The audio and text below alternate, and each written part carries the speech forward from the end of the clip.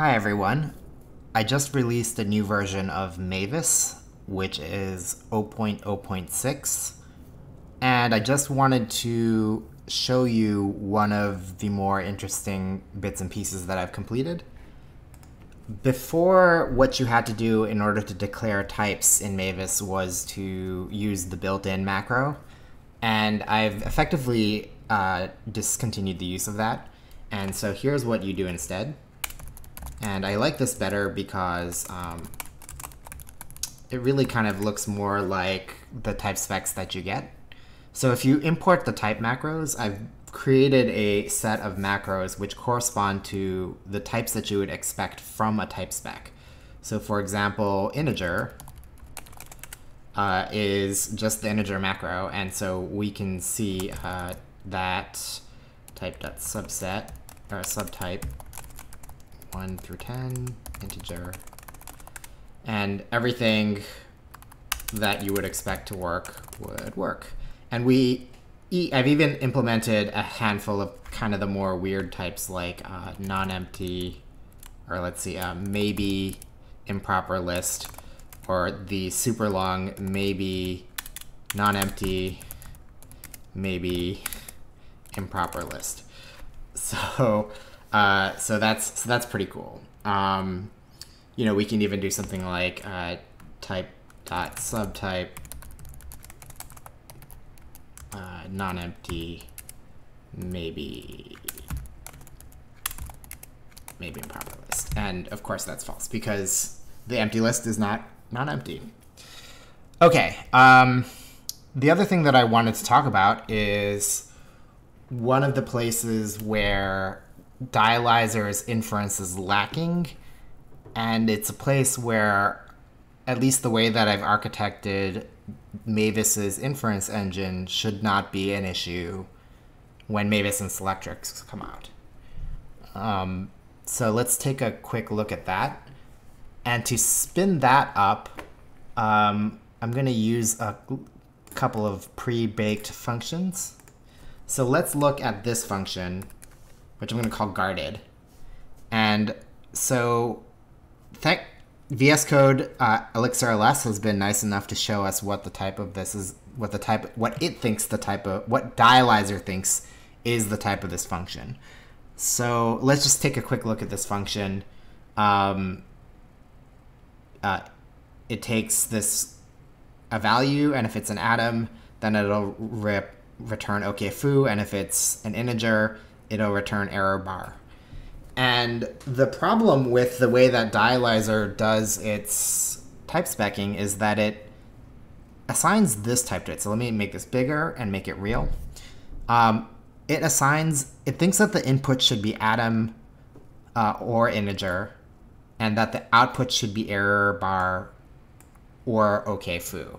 Now at first glance that seems kind of, that seems right, but what is bad about this is that it loses the coupling between atom and error bar and integer, or rather the other way, atom and OK foo and integer and error bar, right? These things should be coupled. And the cool thing is that you can actually specify that in type specs. And uh, so let me let me quickly show you how one could do that. And the way you do that is by specifying two specs. Now, I, I, not everybody uses this, so maybe not everybody's aware that you're able to do this in the standard Elixir and Erlang type specking system, but you can specify multiple sort of evaluation paths for different types, right, for, that are type dependent.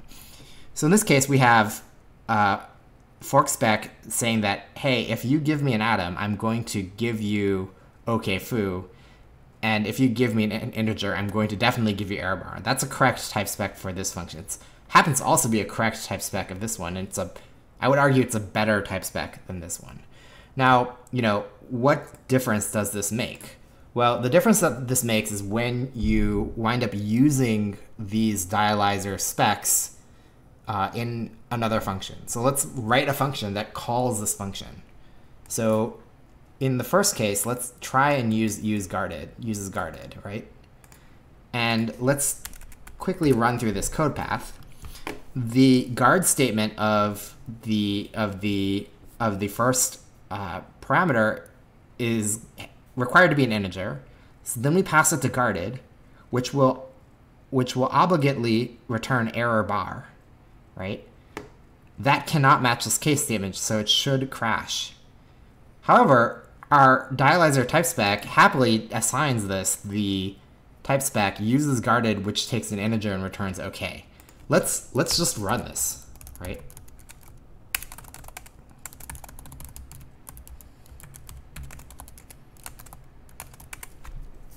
Um, look and look, uh, it says no case clause matching error bar, and it crashes. So this is this is this is not a correct type spec for this function. If anything, it should it should say, you know, uh, integer built-in none or some indication that it it's just not gonna it's not gonna it's not gonna fly. Um, however, if I instead call fork spec, which has the forking type spec, it immediately identifies that hey, you know, there's something wrong, and it says this function has no local return, and it says give me anything, and I'm I'm gonna I'm gonna crash. And so because we've done a better job of type specking our function up here with independent code paths that depend on the type of the parameters, it's able to analyze this function and immediately tell you that something's going to go wrong.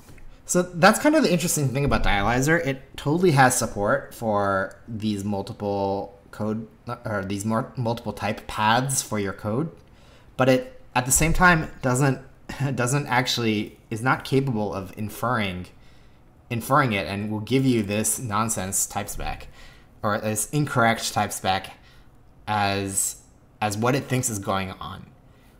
Um, so I'm thinking really hard about these sorts of problems, and at least the way that I've architected Mavis inference, as it stands right now, in fact, uh, it should be able to um, tell you when you've created a grievous typing sin, and it should be able to identify this sort of a spec as the correct spec for for the function.